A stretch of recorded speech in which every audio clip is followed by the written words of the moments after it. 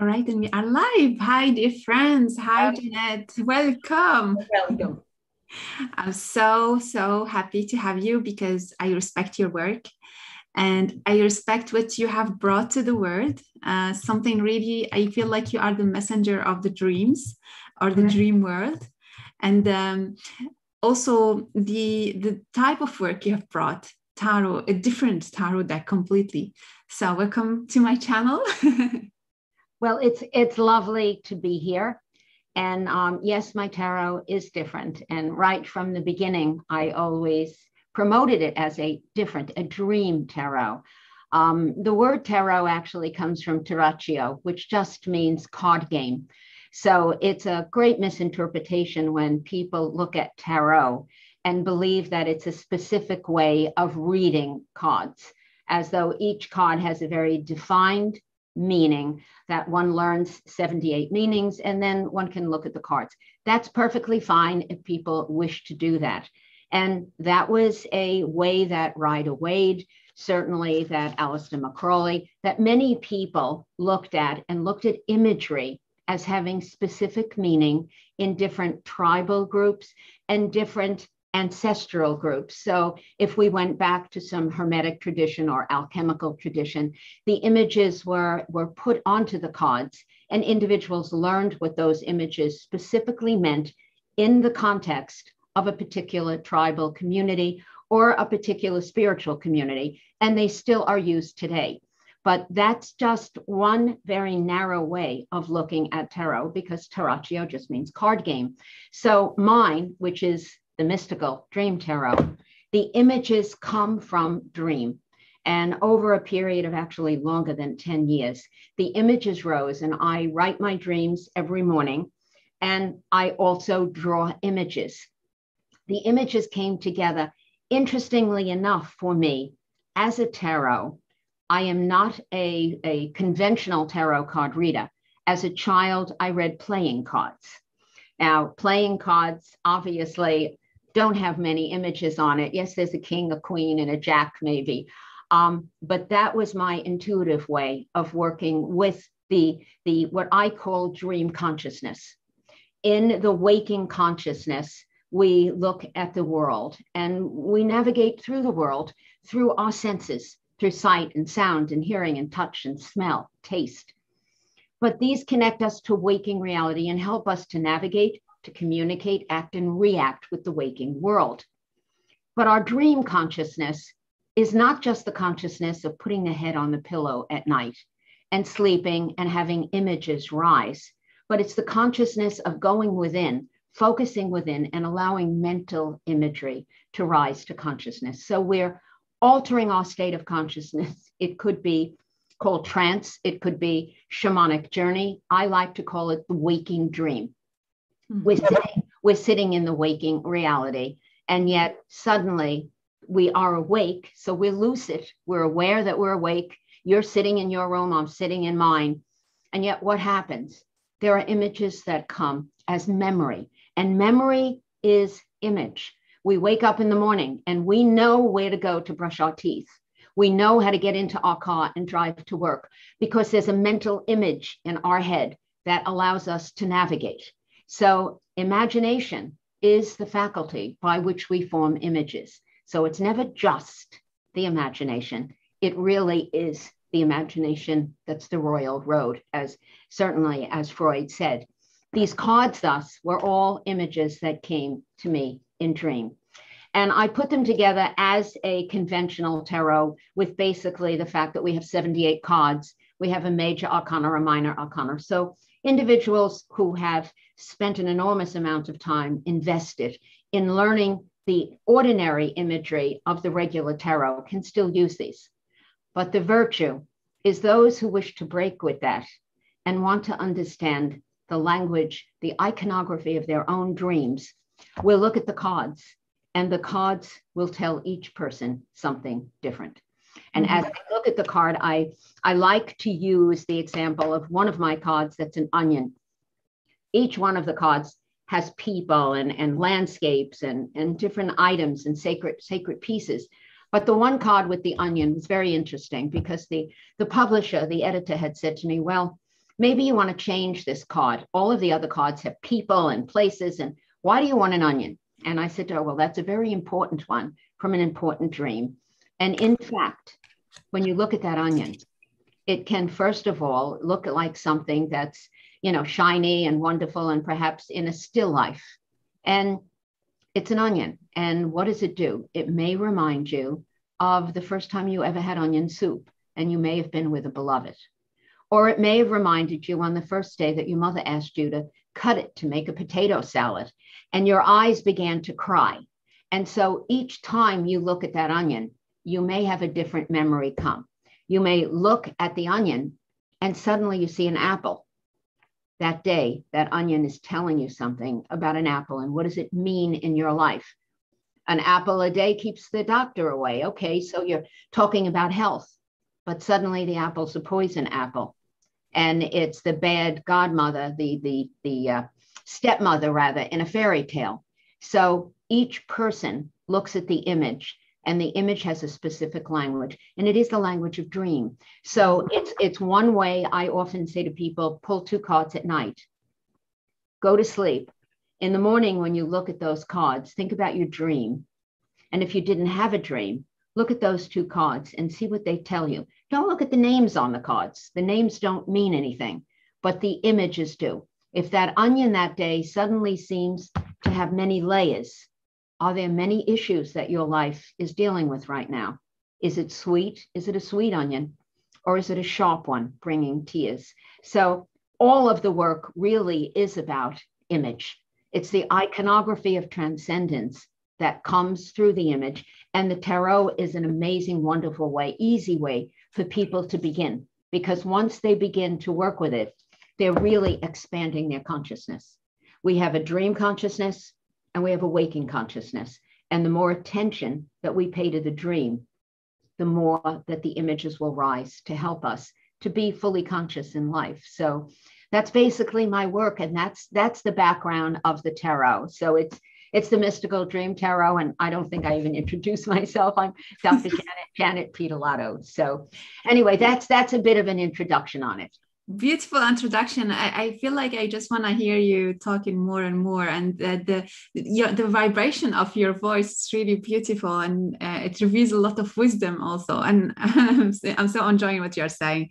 There is something about um, um, the tarot being like the content or the square that is allowing for the messages of the dreams to um, flow. And I feel like even images, I always say that images are sometimes also uh, like um, the doors of more profound yeah. messages that are coming from the unconscious uh, field that's the the image the image is the doorway and we hope that it's the gate of horn which is the the gate of truth um, when images rise in our mind, we can have fictitious images. The young girl who's sitting at a concert and dreaming of dating the rock star.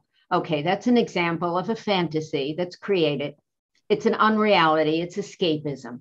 And that's that's that's not the gate of truth. That's that's what we call the gate of ivory. And it all goes back to Homer and his wonderful story in, in Ulysses of telling us that there are two gates that dreams come through. And the interesting part about images and dealing with images, they are the language of the transcendent. So if we work through that image, but the little trick is like a visit to the oracle at Delphi or at Cuma, the message that's given is a riddle. The image that's seen on that card may look like an onion, but it's not telling you have an onion for lunch or have onion soup for dinner or avoid cutting the onion because it gives you tears. It's asking you to look through it. What else is there? Is there a memory about that onion? Or is that onion turning into the poison apple? And if it's turning into the poison apple, there's a meaning for that. So I often say, in fact, I'll look at a card and I'll say to somebody, you know, you may look at, for instance, we we have the card of Nut and Geb and it's the the mother uh, mother sky over oh and that's just the card that you have okay yes. so it's it's the union of something and it's the lovers mm-hmm. but it's the sky above and the earth beneath. Geb is the earth beneath, and Nut is the the the, the dome of the heavens above us. And I often say the stars that are on her body. And if one goes to the tombs, I bring people to Egypt on pilgrimage and to look at the sky where we're on the Nile on a cruise and that sky at night where there's no real light pollution. All of those stars are magnificent, but those stars are leading to something that's not even there anymore. Some of those stars have long since extinguished before we get the light. And so we begin to move beyond what we see into a myth. And the mythology truly has all of the answers for us. Sir Isaac Newton, one of the biggest geniuses on this planet, spent such an enormous amount of time plundering into mythologies because it's beneath the myth that we see the truth. Whether it's an ancient Egyptian myth or a Native American, whether it's a Celtic myth, it doesn't matter. They transmigrate with all of the images and meaning. And for us as modern seekers, we travel through that. We may look at that card and someone may say to me, Well, but all I see is the moon. That's really what's drawing me. There's a moon, there are mountains in the background. Yes, there are the lovers, there are flowers in the front. If someone is looking and the moon seems to speak to them, the moon represents Luna, the moon represents those mysterious depths inside each one of us, the voice of the Soror Mystica. Inside, there is a voice that seeks to rise in image. Your life may have things that are very busy and chaotic in the waking world. And yet, the moon is calling you to hear the voice within, to hear that voice of Luna, of the, the voice of the spirit inside that rises through the altered state, through the dream. So you're quite right. The image is the doorway, and that's the message. And the dream, the images that come, the manifest is not the answer. When one went to the oracle at Delphi, her response was given as a riddle. And above the doorway, it said, Know thyself, which meant you had to go home and figure out what that message meant. It did not mean what the external was about it meant delving within. So the, the image hides a lot, and an image is worth far more than a million words for sure, because every time you look at the card, the meaning changes. When I first presented this, and it was in a doctoral thesis for my, my psychology doctorate in transpersonal psych, I presented it and said, The images have meanings for me now. I have a dream dictionary now. The meanings will shift and change and expand and grow. And sometimes they may become opposite to what I see today because the image is not bound by the walls like waking reality, which is why a dream is not usually a conversation in words. It's in images. And they the images pop in and out. They don't occur like a waking world visit. They're very different, and there's there's reason for that. So the cards really are about dreams, and it really is about expanding consciousness. It's a it's a it's a trick. In fact, my doctoral mentor actually wanted me to present it as a tool for psychoanalysis because that's really what it is. Instead, we presented it for a you know a public game, so to speak. But it, it really does expand your consciousness. It helps you see there are two points that have come to my mind when you when you were talking. The first one is how could you develop this way of delving deep? Because we have to have time and we have to have some disposition and maybe you have some practices that helped you develop this way of diving deep. And the second thing also is that uh, i feel i feel that the yes, it's a tool. It's a good tool for psychotherapists and and universal uh, university uh, uh, field. But at the same time, it's uh, it's a richness. It's it's it's a big tool to offer to the public, and I feel like there is an openness. That, well, I uh, do. I have done it all my life. Um, I have a book out, Pieta's Tales. Um, which basically is autobiographical, even though the publisher put it out as a, a children's book like Le Petit Prince, The Little Prince um, because it is a child who escapes into this magnificent world within. Um, while most children were out playing in the street, riding a bicycle, and going swimming, I was opening the door of my closet and I was going inside, closing the door, And I used to tell my mother, I'm going places. And I would go places in that closet. Little did I know that I was doing what a shaman would do go and alter the consciousness. I always had dreams. My teachers are the same as they were when I was four years old. Uh, my oldest memory is of one of those dreams. So, yes, I've worked through the dreams my whole life. I have thousands of pages of dream study, but I do teach people. Um, my tarot, I have an actual course now that's online on taped on my janetpiedilato.net. And it's intuitive tarot. It brings you through each card and shows you how the card can expand and have a variety of messages. And then I, I do work with people independently, where people study and work with their dreams to expand their own consciousness, to move through grief, to move through tragedies and difficult periods in their life. The dreams hold the answers. And when I'm finished helping them to expand and amplify that dream, I, you know, they're amazed at what one can see in it when one works with it. It really, it, it really is the way of entering into the depths in order to find the truth. And then I do offer classes on Tuesday and Friday nights every week. I've got dream chats um, and I have ancestral healing, and then I do shamanic work with people. Mm. So you're quite right. It's a it's a lifelong path and an initiation into the ancient mysteries because that's exactly what you're doing. You are each night being brought into that sacred temenos inside. The dream images rise and the communication with the deceased.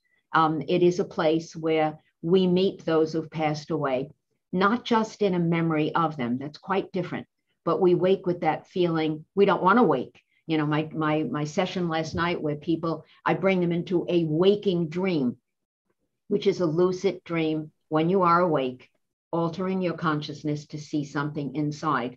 And most of the comments, well, we don't want to come back. You know, we'd prefer to be on this other landscape because it is a reality. And that's what people don't see. I'm sitting here with a virtual background, and it's the Gayer-Anderson Museum in Old Cairo. The homes are 11 to the 17th century, but I choose it because there are two houses joined by a bridge beneath which there's a genie in a well. It is like our two parts of consciousness it's the waking consciousness and the dream consciousness, joined by that liminal bridge. And we need to stand on that bridge and join both sides. We're not fully awake. God bless. We're, we're born, we're born of the waters of forgetfulness. We don't know who we are. Our parents give us a name. And this flesh is only a vehicle by which we move through the world. So it is the dream reality. And yes, this is a beginning for people. You know, I, I created a line called Imaginelle years ago, and it was the image of Hathor, the golden image of the goddess of love in ancient Egypt. And it was my way of honoring the divine feminine that I was bringing an image that has great meaning to many people in the world that no longer are connected with a religious or a spiritual being and how many people i work with stage four cancer as well how many had no religious beliefs anymore but they had that icon next to them you know and bringing them the the solace and the compassion of something that was beyond them that they knew they weren't alone anymore. So in a way it really is a spiritual path which yes can be begun because somebody might be attracted you know to the cover and say oh well i like tarot and then some might be angry because it's not the same old tarot that everybody is used to, which I've never said it is. And I wouldn't want it to be. I, I'm no expert on that, but it is way to help people heal. Um, you know, it's not just a game for sure. Hmm. If you if you give two exercises, if you, you you can give us two exercises to do with this deck uh, well, already you talked about uh, having two cards before we sleep. That would be a good practice. Do you have another exercise that can help us dive deep in this deck? Yes. Um, what I tell people to do is to enter the waking dream. So during the daytime, what we don't, most people don't realize is that we live on a 90 minute cycle called an ultradian rhythm. It means that we're working like you and I right now at the computer and all of a sudden an idea may pop into our mind um, something that um, we're not thinking of, someone maybe from long ago. Um, perhaps it's a, an event. Uh, Halloween just passed, and perhaps as a child we did something, and we're suddenly remembering. And I'm remembering going to a house where there was a very lovely man who who actually gave me a silver dollar bill. You know, the the with money, and and as a child, you know, usually you got a few little pieces of candy corn, and he was so kind. And that image is coming to me right now out of nothing. It has nothing to do with you and I. So, what I tell people to do every 90 minutes, this happens. And I believe it's part of really our evolution. When we started as hunters and gatherers, we could not sleep an eight hour night.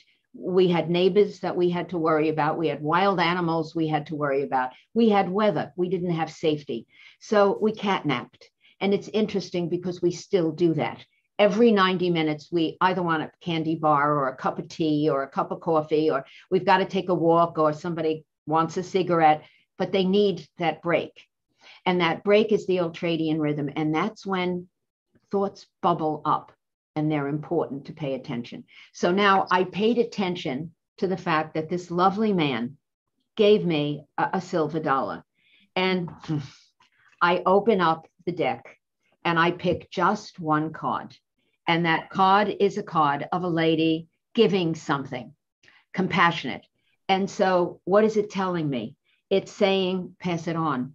This man was good to me. I was a little kid, and that that that dollar meant something to my parents um, as a surprise. And this card now, perhaps there's something in my life that I'm able to help somebody else. This card has come to tell me that. And it's telling me that this man that meant something to me then, say a quick prayer for him too, because obviously he's still there. He's obviously passed over. He was elderly when I was little, and I'm getting ready to join him. But the fact being, the cards will help us. If again, we're in something and we look at the situation and we say, oh, it's so frustrating. I want this to be over. And this is what's coming in the middle of work. Maybe it's a problem in a relationship. Maybe there's a financial problem. Maybe there's a, a, school and you're studying something, but you're working during the day. And all of a sudden, that thought rises. And it's like, oh my God, I'm so frustrated about this. I want it to be over. All right. So let's pick a card. okay. And, and you'll see how it's perfect. It's the hangman. All right. And my hangman shows that there's a mermaid coming from the depths holding him. The time is burning at the top. And at the time, you see all the fire and you, you see the smoke. And the face of the hanged man is smiling. Why? Because he's in the middle of a mess that he can't do anything about right now. And he's just going to let it be. It's like the serenity prayer. Help me with when I can do something about it, but help me to know the difference when I can't do something. So here I am I'm giving the example of school is coming, there's a test, I'm worrying about it, or relationship has a problem. And the hanged man is saying to me, just hang on now, be patient. Time passes and you'll be all right. He's got a smile. Just let it be. This is not something you're going to do anything else about. Stop fretting. So that's those are two of the ways. And in fact, the next card is the onion and the onion the onion has many layers and if this were me with that issue i would look and say ah there's many layers to this issue that i'm looking at and i'm only seeing one and that's what's frustrating me there's many many layers in there. And you know what? It's going to be okay. I'm just going to wait and watch what happens. So the two ways are having the cards available during an ultradian rhythm during an image that rises, a memory that rises, that kind of perplexes you as to why has it come. But the really powerful way it is, they are dream cards, is to use it right before you're entering a shamanic journey, a meditation, um, a waking dream, which is what I do with my people, and it very much is a shamanic. The shamanism, I will use a drum and I'll beat on a drum or I'll, I'll shake a rattle. It's a little bit different. But if those two cards are placed, and at night I look at one and one I leave not not to look at. Mm-hmm. I had my dream. I write my dream in the morning, and then I look at both cards. How do those two cards relate, expand, and awaken me to something else in the dream? And they really do work. Um, they really do help. And if you've not had a dream, this works magnificently because you ask each night, and I would tell all of your listeners, some we do dream every night, even if they don't remember it. If you don't remember your dreams, but you would like to, put a little pad by your bed and say, I am going to dream tonight. I want to dream. Take two cards. One you look at, one you don't. Go to sleep. You wake up in the morning, put your alarm on for 20 minutes before you need to wake up and make it be chimes, make it be something a little gentle. And don't pop out of bed. Think, okay, I don't remember my dream. No, no, I do, I do. And you keep on telling yourself you do. What do you do next? Well, I was, where was I in the dream? Um, I was walking down a street and begin to make a fictitious story because what happens is something we call anamnesis one of the words, something is going to click and say to you, oh, that's really where I was. And if not, put yourself in a place. I was walking down a street by a house I lived in as a baby. I'm all alone this day, but there's a rabbit running across the, the front steps. I enter into that house, and what do I do? So you want to know where you are and who you're with.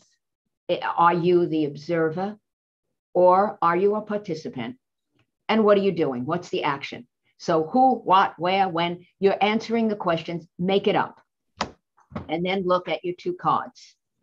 And then think of the story you made up, how the two cards expand. Maybe they tell you a little bit more about that, that, that made up dream. And then look at your life and think what I just wrote, how does that enter into what's happening to me here and now, right now, and see if you have something. Do that every night. And I will tell you within days and sometimes weeks, you'll wake up one morning and say, I don't have to make up a dream today. I really remember it. And mm-hmm. another another way for the adventuresome is drink a nice big cup of water or tea or something before you go to bed. And you will wake up during you have a dream every 90 minutes at night. The beginning of the night, they're a bit short. At the end of the night, which is why we remember the last one, it's the longest dream. You will wake up to use the bathroom right after you have your dream. And if you pay attention, you'll have dreams all through the night. I mean, I have as many as four dreams at night, and I remember them. And yes, I have my tea with me because I want those dreams. I want to know what's going on in my my other reality. So the cards can be used to expand what you're seeing because really it is your fingers that are shaking and moving them. So the energy within you is going to pick the right card. It's going to pick the card that you ap- absolutely need, like the card that says, you know, here we are on something new. We have the scarab rising. And on the walls in ancient Egypt, in the, the tombs in the Valley of the Kings and Queens, what do we see? We see the scarab rising with the sun. This is new life. And, and if this is your card, you look at it and say, yes, something new. I'm at a new door in my life. So the cards really can help expand the imagery that we have. But the language of the dream, of the dream consciousness, which is the language of the cards, is the image, but you have to understand it and mm-hmm. each and every one of us. And that's my next book next year, which is Dreamgate and wow. it will it's uh, it's coming out in the fall of next year and it will teach people how to follow their dreams and understand their dreams um, i was asked to create a dream dictionary and i said no i said we need to teach people how to write their own and so that's what that's what that's about Totally, uh, I understand that totally. Um, for those who are who like writing their dreams, I have created a, a journal, dream journal. So I will leave the link below. That may help um, help you record your dreams.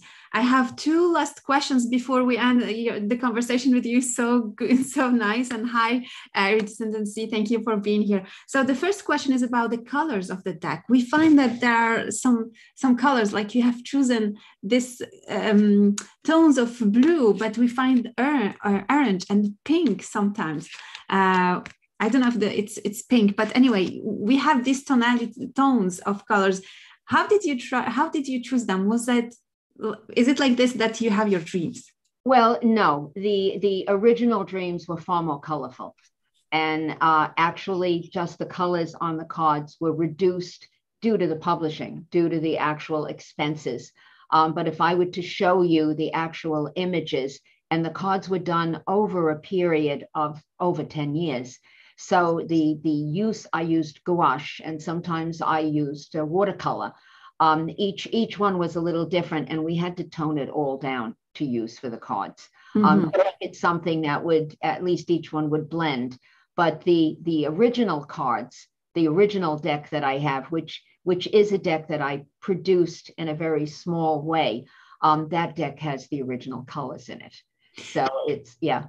It's uh, and the second and last question is really it's it's I feel like yes, maybe we lost on the on the colors, but we gain on the availability of the deck. I'm here at the moment in Portugal, and when I go to the grocery shops or go to the um, the to send my decks um, of, of no, my, and that's, my... and that's very that's very true. Um, yes, my, my original deck of of Dream and Vision um, was very small, limited, obviously and yes it had all the original colors and it's just like the internet like you're in portugal now and and there you are.